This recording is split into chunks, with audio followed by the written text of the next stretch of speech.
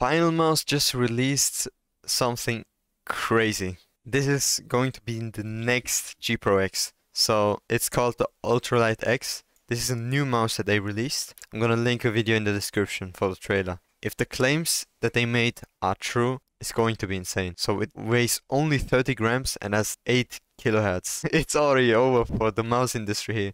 This is the new G Pro X. This is this is the Wooting of the mouse industry. So it's made out of carbon fiber. At 30 grams of weight, it is more robust than the magnesium composite. So it comes in three sizes and they named it Cheetah, Lion and Tiger. You can look at the measurements here. 300 microseconds, which is 0.3 milliseconds. So apparently the click is going to be very, very responsive, but we have to feel it out for ourselves. This receiver, quite interestingly, shows the charge of the mouse with the RGB.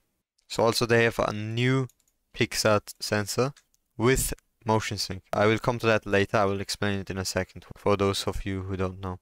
Apparently it goes up to two months of, without needing charge, uh, depending on the polling rate. Let's get to the software. Because DPI, obviously polling rate, normal, but now this, this is straight up fire. LOD, you can adjust uh, the LOD. For example, with the G Pro X, you cannot do that. As well as motion sync and TAC SNAP. So TAC SNAP is angle snapping, that when you aim, vertical, it, your your mouse is like very very linear movement. Whereas with the normal mouse, it's not like very linear. But I don't really like it to be honest. But some people use it, so some people say it takes whatever nonsense. So when you move your mouse, it's gonna be much more linear. So that's what TAC SNAP is. And motion sync is a very interesting thing. Motion sync actually makes that your mouse is much more accurate. Maybe you have already seen this from Razer.